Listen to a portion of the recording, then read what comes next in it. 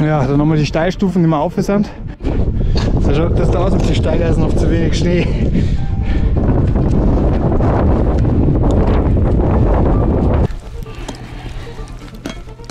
Servus und herzlich willkommen bei diesem Video. Heute bin ich mit Patrick unterwegs. Und wir hängen gerade lustig in der Steilstufe umeinander. Ich zeig's mal kurz. Da geht's runter. Und dann Patrick geht's auf. Und wir machen heute die Alpspitzüberschreitung. Wenn ihr da mit dabei sein wollt, dann bleibt dran.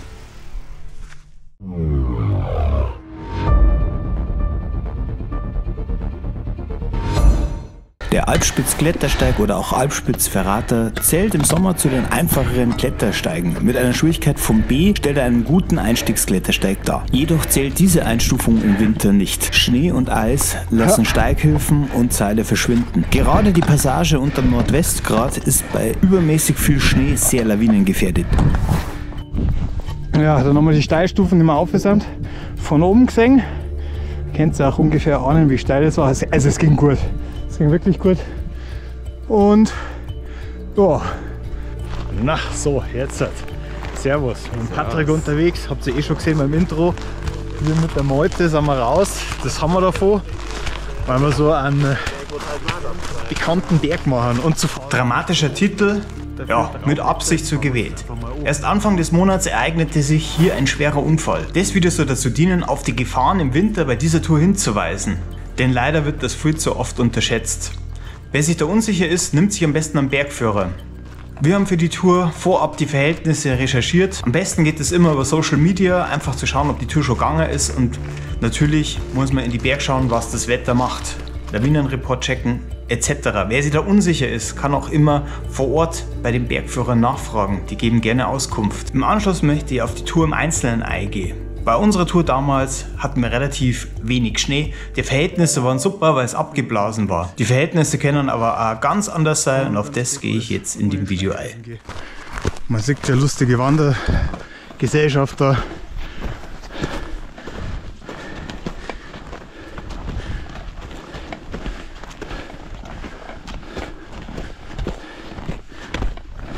Der Einstiegsbereich in den Klettersteig lässt sich in zwei Passagen unterteilen. Zwei kurze Klammerleitern und eine lange Klammerleiter.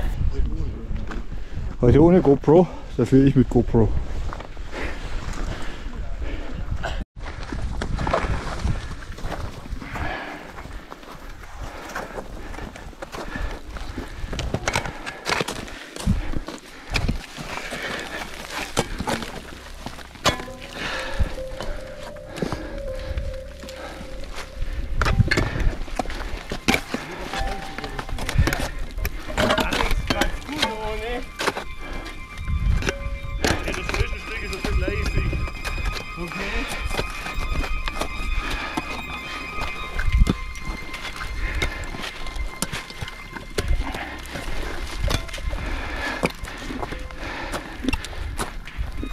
Gerade der Einstieg stellt bei hoher Schneeauflage die erste Herausforderung dar. Wer hier bereits ein Problem bekommt, sollte die Tour abbrechen. Durch das steile Gelände zu Beginn des Klettersteigs befindet man sich unmittelbar im Absturzgelände. Leute.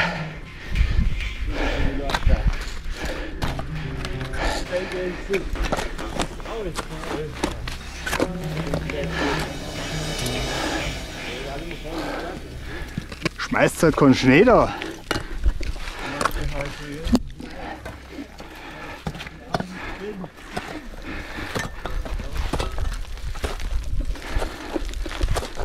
Wichtige Anmerkung an dieser Stelle, das Gehen mit Steigeisen und Pickel ist Grundvoraussetzung für diese Tour im Winter.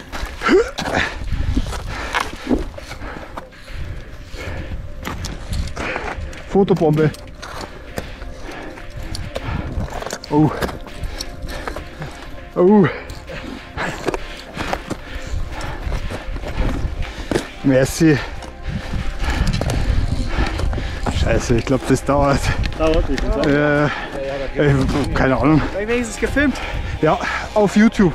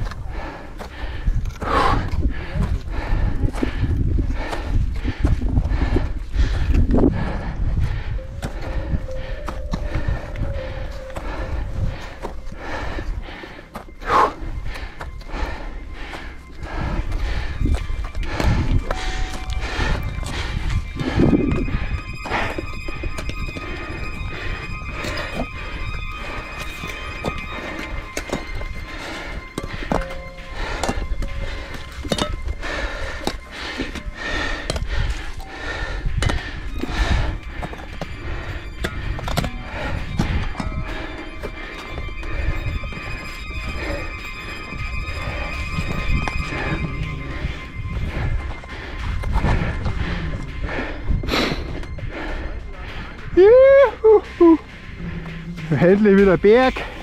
Yeah.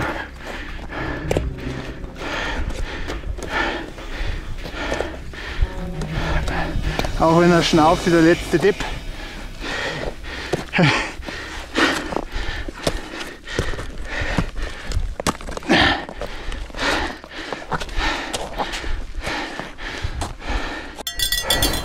Genau die ersten paar Höhenmeter über die Leutern haben wir gemacht. Ging ganz gut, weil Schnee ist eigentlich fast keiner, ein wenig eisig.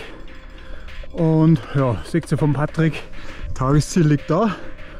Und ja, wir haben uns auch ganz gut vor die ganze Meute gesetzt. Das werden wir jetzt auch halten.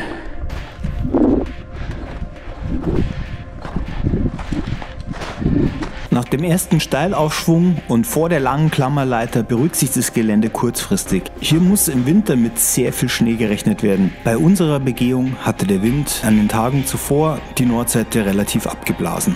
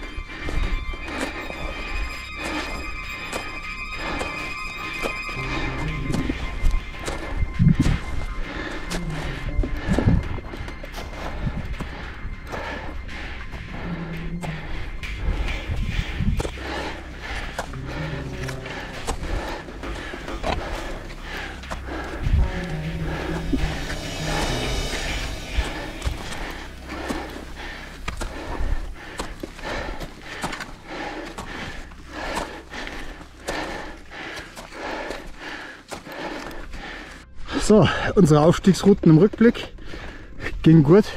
Da ist jetzt ein wenig abblasen bis da oben, aber Steigeisen auszuziehen macht jetzt keinen Sinn. Ja, seht ihr, die Bedingungen sind eigentlich relativ gut, weil fast kein Schnee drin liegt. Mal Blick rüber. Da das Video zum Wachsenstoff verlinke ich euch da oben. Nach der Scharte der lustigen Bergler flacht das Gelände wieder etwas ab. Der Aufstieg zum Nordwestgrat beginnt. Hier kann es je nach Schneesituation zur Lawinengefährdung kommen. Auch ist es hier nicht untypisch, dass jegliche Steighilfe und Seile unterm Schnee verschwinden. Somit kann bei der entsprechenden Schneeauflage ein direkt gerader Aufstieg zum Nordwestgrat erfolgen.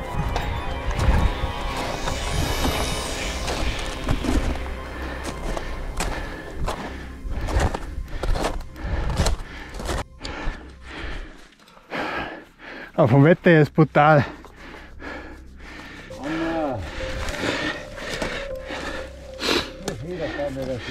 Gell? Das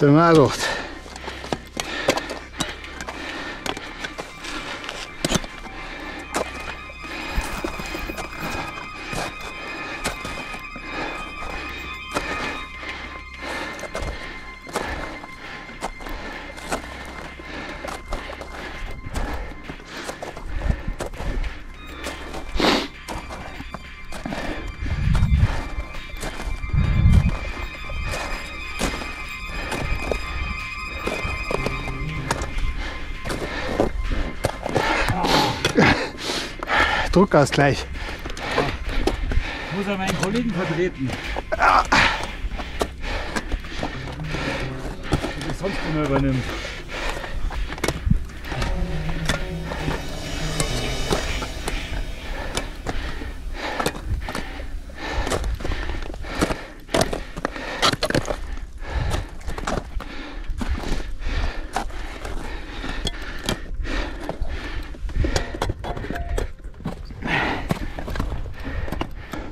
Habe immer wieder ein paar Lortern. Wir beide schnaufen wie sonst irgendwas. Ja. die Spuren. Wir hatten Raclette-Käse atmen. Genau. Und ja, bis dahin waren wir jetzt 40 Minuten unterwegs. Haben 230 Höhenmeter gemacht, laut meiner Uhr. So genau, sechs unsere Aufstiegsrouten bisher. Wir haben mit Patrick. Jetzt kann man natürlich da drüben über die Seile auf oder hier einfach quer auf. Das werden wir jetzt machen. Und jetzt ziehen wir uns zumindest mal den Pickel auf Bereitschaft hinten im Rucksack ein, falls wir ihn brauchen. Wie vorhin bereits angemerkt, kann bei entsprechender Schneeauflage an manchen Stellen der direkte Aufstieg begonnen werden. Hier bewegen wir uns im Gelände bis zu 35 Grad steil. Auch sollte berücksichtigt werden, dass die nordseitige Exposition viel Eis und Vereisung mit sich bringen kann.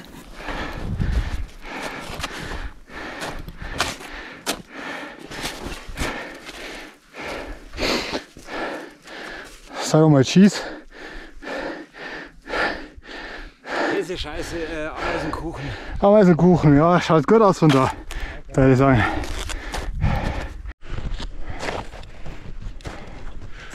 Aha.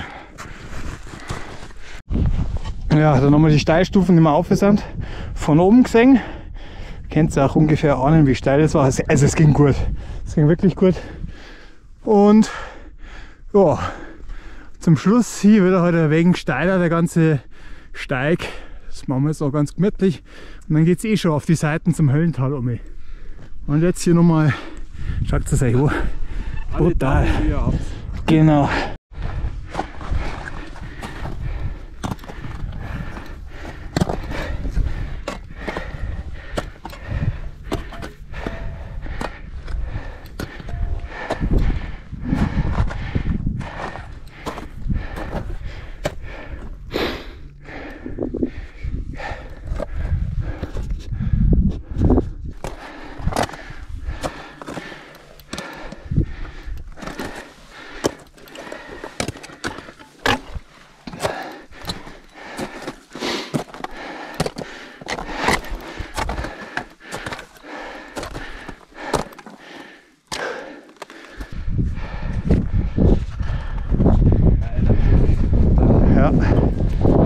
Muss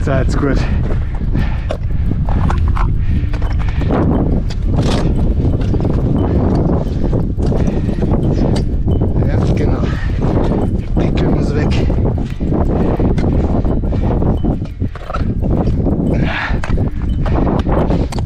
Bock jetzt da oben weg.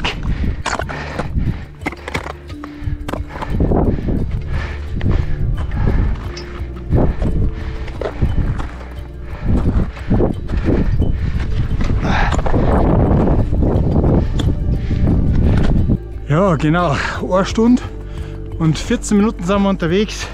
Knappe 400 Höhenmeter gemacht.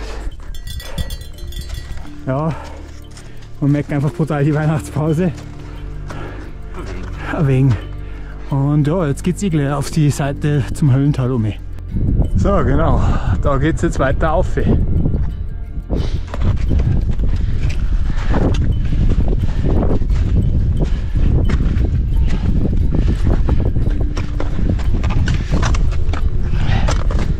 Nordwestgrad angekommen verlässt man die nordseitige Exposition. Im Winter stellt der folgende Abschnitt die Schlüsselstelle dar. Der glatte Kessel und die folgenden Wegabschnitte sind im Vergleich zur vorherigen Aufstiegsroute weitaus mehr ausgesetzt. Gerade die Querung zur Tafel Abzweigung Matheisenkar ist mit viel Schnee sehr anspruchsvoll und stellt eine ähnliche Anforderung wie die Querung zur Wiener Neustädter Hütte am Stopselzieher dar.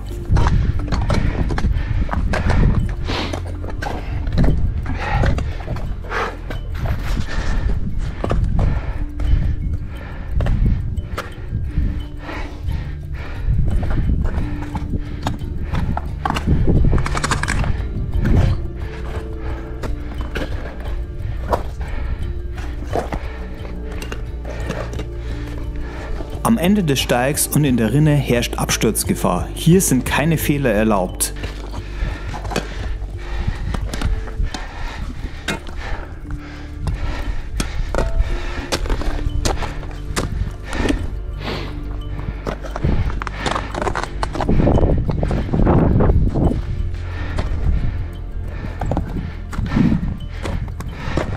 Schau, was da gemacht. So, Leute. Endspurt. Gipfelkreuz sieht man schon. Das Gipfelkreuz sieht man schon. Auch die letzte Passage direkt unter dem Gipfel sollte niemals unterschätzt werden. Hier kann Eis und Schnee das vermeintlich einfache Gelände anspruchsvoll gestalten. Da man sich immer noch oberhalb des Kessels befindet, ist die Absturzfahr nach wie vor vorhanden. Ja.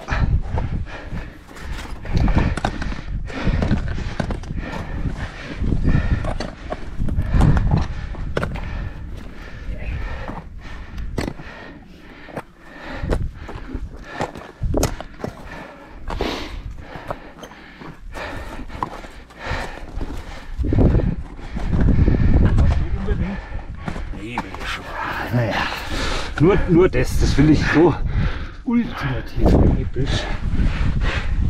So. So.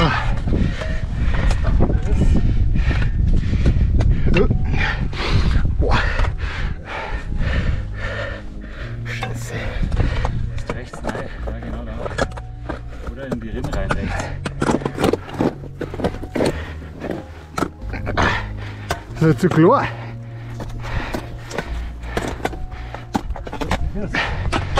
Kurze Füße, ja. Ist immer schlecht am Berg.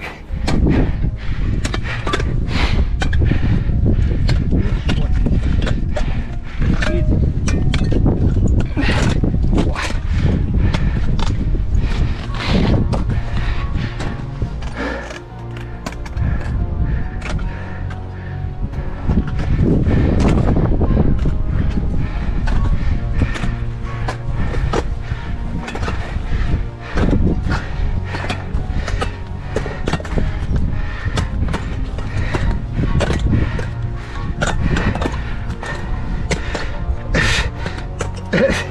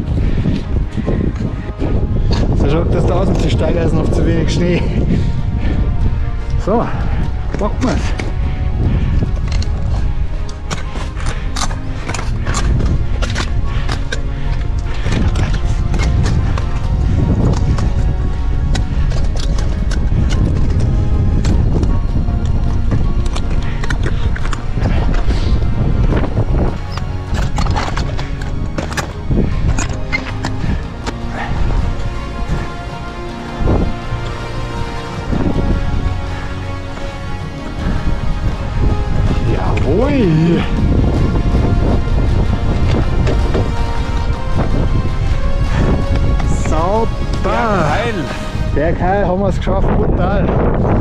Ja, schaut es euch an. Das Panorama. Der Wahnsinn.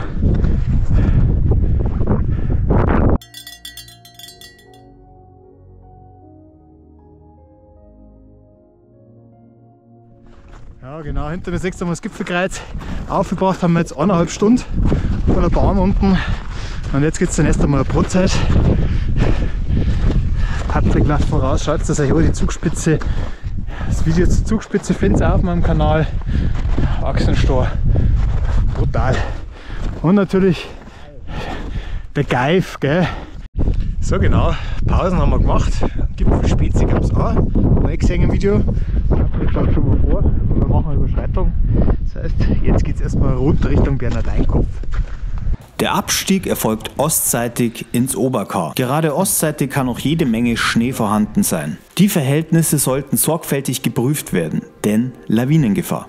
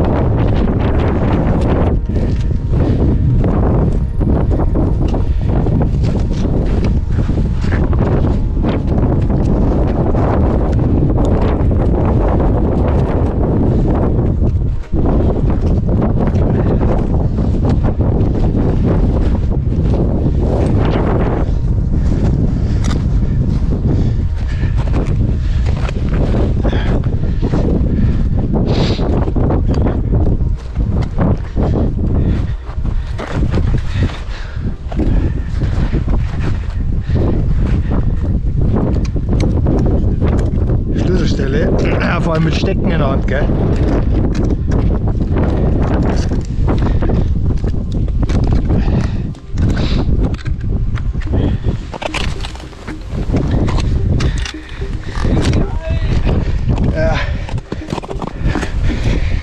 Genau, hängt die Ei.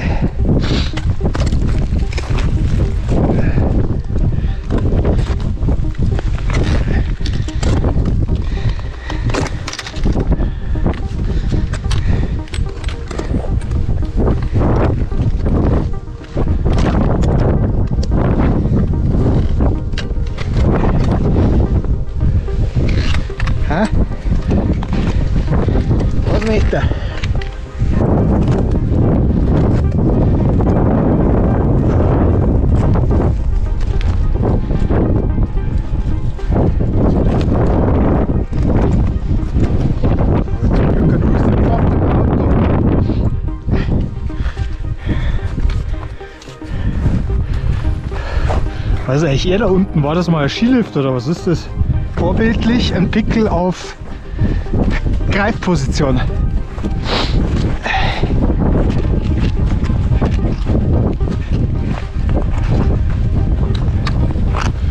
Ich wusste, dass der Weg hier noch so abenteuerlich ist.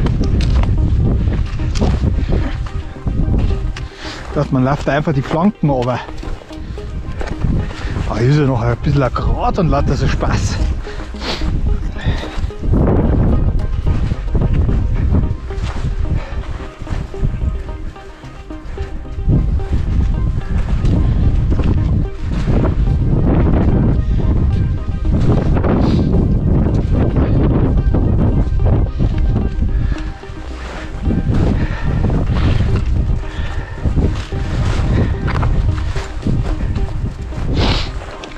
Geil, ich habe mir jetzt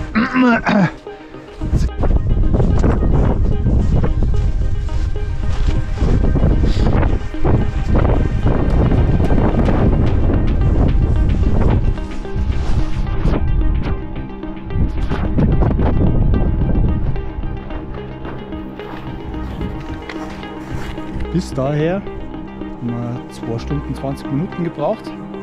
Jetzt stehen wir am schönen Gänge. Wir spitzen uns mal nach oben. Wir nehmen jetzt die kurze Variante. Genau, und gehen da unten. Ah, ich sehe eine Insta360 nach Ski. Kommt auch noch jemand. Ja. Der weitere Abstieg erfolgt über die schönen Gänge. Hier sollte man sich im Klaren sein, dass diese permanent im Schatten liegen und mit sehr hoher Wahrscheinlichkeit vereist sind.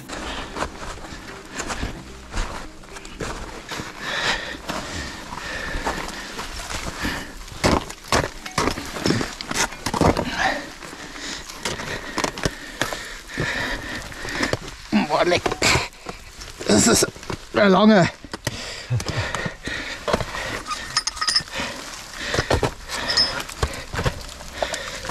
Und da ist auch noch mal Eis. Aufpassen.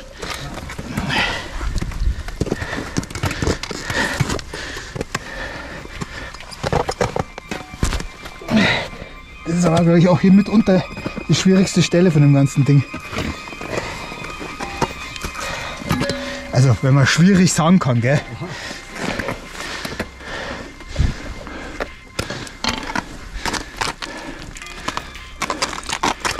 Ja, also ein bisschen ungut.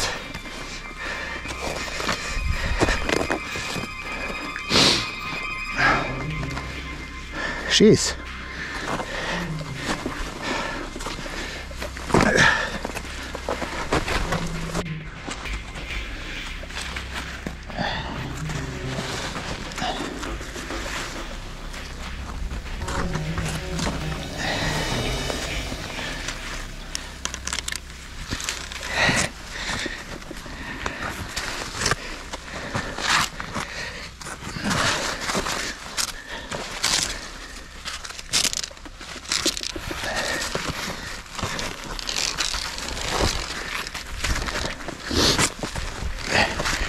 So. Ja,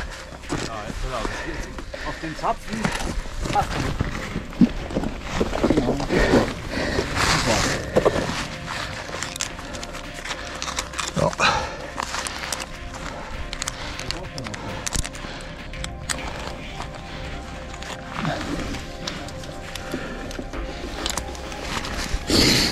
Ja. Ja, das ist immer, wenn man da nicht hinsickt, so Scheiß. Und zu kurze Viers, gell?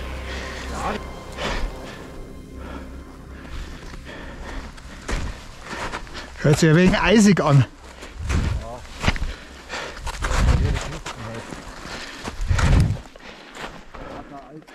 So, 2 Stunden 55 Minuten stehen wir jetzt unterhalb die schönen Gänge, von die schönen Gänge. Stehen wir unterhalb von die schönen Gänge. Seht ihr, da sind wir runter. Und ja, da drüben hinten kann man unseren Einstiegspunkt in den Alpspitzverrater erahnen. Und jetzt wird erstmal groß umgepackt, abgelegt. Helm weg und alles. Und dann packen wir es weiter. Und wenn wir gut drauf sind, gehen wir den Jägersteig runter. Haben wir gesagt. Das machen wir. So, dann sind wir wieder am Auto. Vier Stunden und ein paar zerquetschte, also so 55 Minuten, ich schreibe es korrekt unten eine, haben wir gebraucht. Jetzt sind wir da. Was gibt es zu sagen zu unserer Einstiegstour? Es war eine wunderbare Einstiegstour. Die erste Tour des Jahres, gleich eine schöne Wintertour, wie sie eigentlich sein soll, mit Schneekontakt und Steigeisen und Pickel und Helm und Alles klar, wir haben uns faulerhalber, faul, faulerweise äh, mit der Bahn die äh, ersten 1200 Höhenmeter gespart, weil wir mit der Bahn hochgefahren sind, aber ich fand das jetzt nicht dramatisch. Dafür sind wir zu Fuß runtergelaufen. Genau. Ja, Mai, was gibt es da für Verhältnisse zu sagen? Es ist halt nicht wirklich Winter in die Berge, es ist weniger Schnee drin, als man meint, ein bisschen eisig. Trotzdem, Steigeisen hat schon gebraucht und für alle die, die sich nicht sicher sind, Gurt macht Sinn, Klettersteigset macht wahrscheinlich auch Sinn. Ja, wenn man sich nicht sicher ist, auf jeden Fall. Genau. So, wenn ihr noch Fragen habt, schreibt es mir einen Kommentar. Wenn ihr bis dahin durchgehalten habt und den Kanal nicht abonniert habt, dann Abo-Button drücken. Und dann sage ich, wir sehen uns nächstes Mal. Es kommt der laute Zug, wir sind weg und fahren Servus. ins Wochenende. Servus.